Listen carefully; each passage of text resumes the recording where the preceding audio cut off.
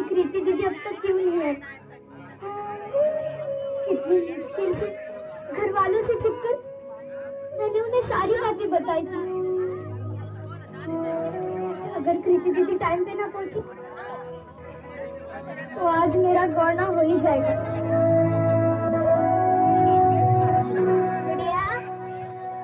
ऐसे मुँह लटका के ना बैठ। लड़के वाले आते ही होंगे। माँ कम से कम तू तो मुझे समझ। मैं सिर्फ़ बारह बरस की हूँ। हाँ तो छोरिया बरस से नहीं। मनमत सेकंड से बड़ी हो गई मुझे भी थारे बाबा, इसी उम्र में लाए थे आप।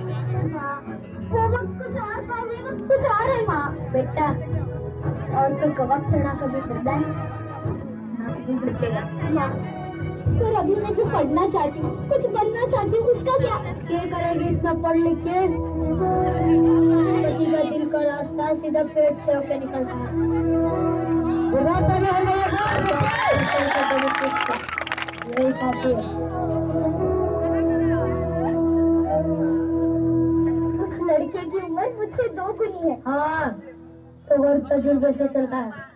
औरतों के बक बक से नहीं।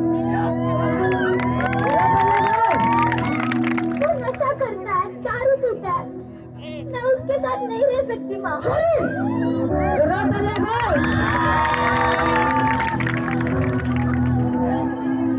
अब तू तारे मर्द को सिखाएगी कि घर कैसे चलेगा? अपनी आवाज़, अपने माँ की पल्लू की तरह नीचे कर ले और ससुराल जाने के लिए तैयार हो जा। हम वाले आ चुके हैं।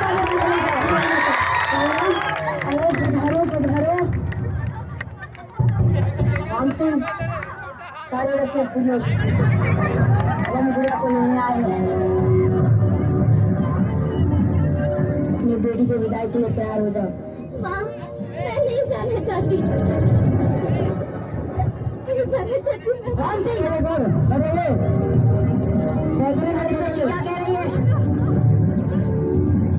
अब चिंता मत कीजिए नादन बेटी नादन अभी आपके साथ विदा करो। नहीं रुको बोलो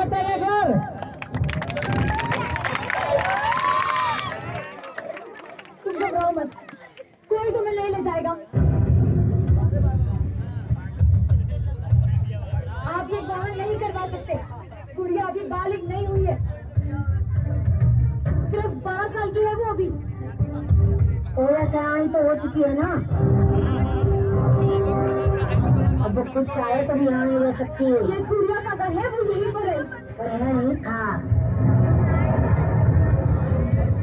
अब वो उसके पति के घर रहेगी। पति के घर? अजीब है ना। शादी होते ही एक लड़की अपने घर से पराई हो जाती है। और जिस घर के लिए वो पराई होती है वो घर कभी उसे अपना बना ही नहीं पाता।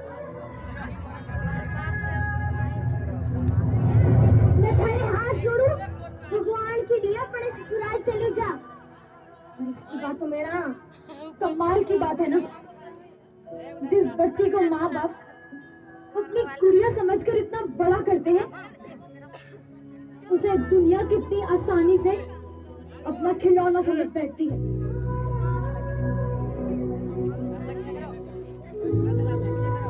देखो आप हमारे परिवार के मसलों में दखल दे रही हो। क्या गलत कह रही हूँ मैं? गुड़िया पढ़ना चाहती है चाहती है रसोई में अच्छी लगती है और तुम्हारी जैसी सोच रखने वाले सिर्फ़ कटर में अच्छे लगते हैं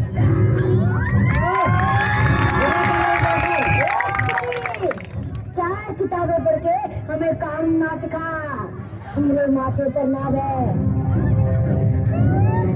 जी साड़ी हो चुकी है बहुत हमारे लिए हूँ।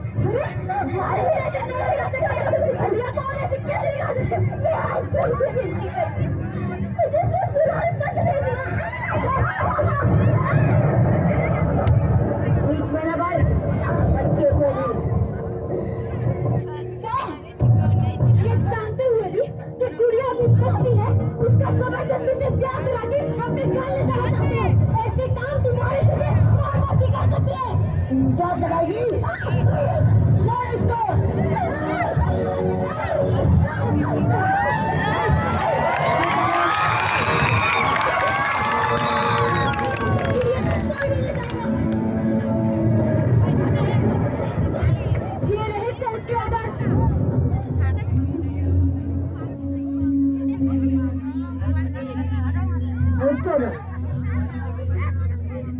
कौन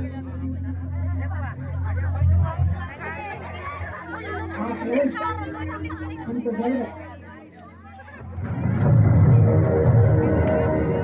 हमारा गाँव है।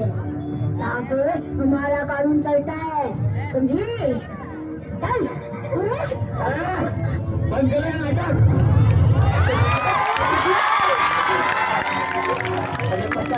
बाल विवाह एक कानूनन अपराध है और इसकी सजा ज़रूर होगी चल, चल।